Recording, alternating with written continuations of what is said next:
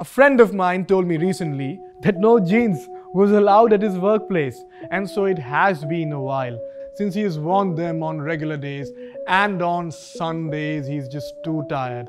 As all the work, the travel just catches up, and he finds himself in his home, in his bed, in his underwear the entire day. All his jeans, he tells me, lie neatly stacked up in his cupboard ironed and carefully folded, preserved like a relic of a long lost past, a life that he used to be. But he misses wearing jeans. Those five, six years at college between school and work were all about this blue legged revolution. The blue sky painted on two legs, a freedom of choice where no one begs, no rules that kill. Things are all so chill, and maybe this is what he misses the most. Maybe this is what it is all about. Jeans has in its genes a world of possibilities. Jeans has something to do with being young and finding yourself. Rather, finding your youth and being yourself. No matter your age, the moment you wear jeans, you feel good, you feel free. It makes you the member of a world where there is so much that you can be.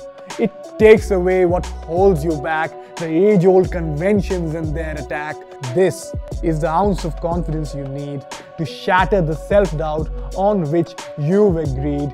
Jeans is the one step you take just for yourself, for you are everything, everything that you always wanted to be. Jeans is acceptance, it helps you to see.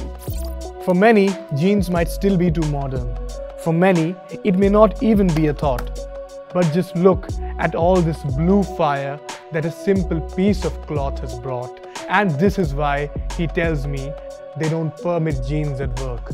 For they don't want voices, they want hands that type, they don't want individuals, they want faces on Skype. All their shirts and pants and suits and ties are the uniform of a jail in disguise.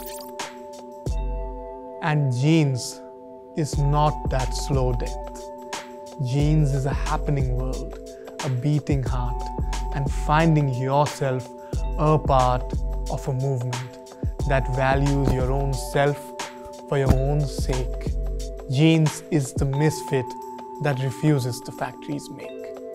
Yes, jeans is a rebellion, but it is with a cause, for it reminds you to give all their thinking a pause living your life on your own terms is jeans. And no, it isn't restricted to just college or teens.